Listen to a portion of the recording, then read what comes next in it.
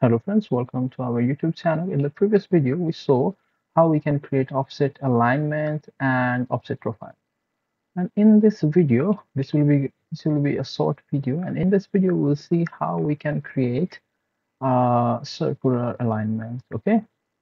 So as I think I have shown this in one of my videos, like how we can convert uh, ordinary polyline into alignment. Okay.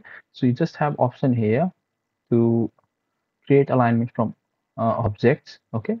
And that you directly select an object like any polyline. Like let's say we draw a polyline here. Let's say just like that. Draw something like that okay? And then if I want to convert it as poly uh, into an alignment then I just have to select alignment and create alignment select create alignment from uh, objects. And then I can just select this and hit enter. And it will ask me for the direction. I will select or you can reverse. And then we have to put the names and everything and even erase or add curves. You have you can add curves and just convert it like that okay?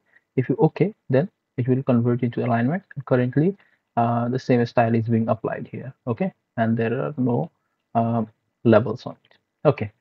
Cool. But if you create a circle let's say we have a circle here maybe let's uh, put it uh, radius as 15 meter okay?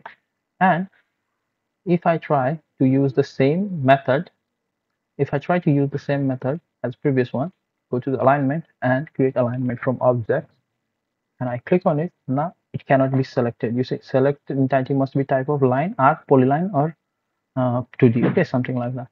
So we cannot do it. So there's a workaround for this. There's another another method for this so go to the alignment, right?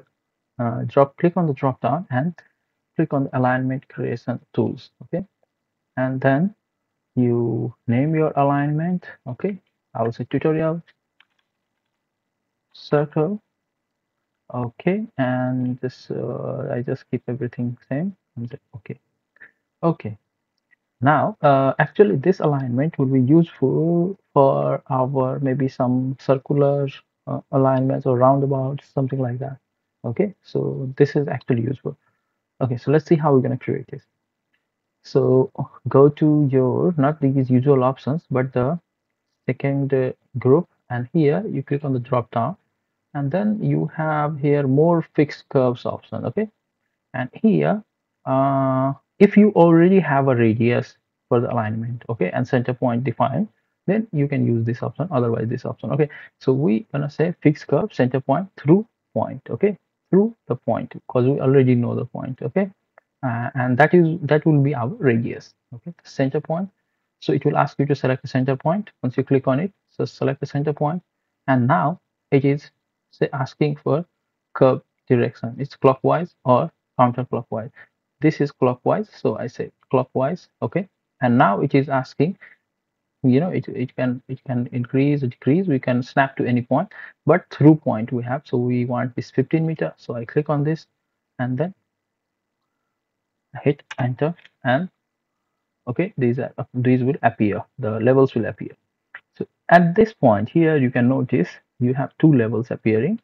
So this level is the start and end point okay? So uh, once you have selected your alignment you can check where it is select your alignment and then go to alignment properties. And here you can see 94.25 meter is your uh, endpoint of the and and which coincides with the start okay? Uh, actually it's 94.248 and if you go further into this must may be different. Uh, you can just calculate the uh, the perimeter of a circle and see how much it is okay? So guys this was a short video for this particular thing. Uh, thanks for watching. Like, share, and subscribe to our channel if you have learned something new. And uh, have a great time.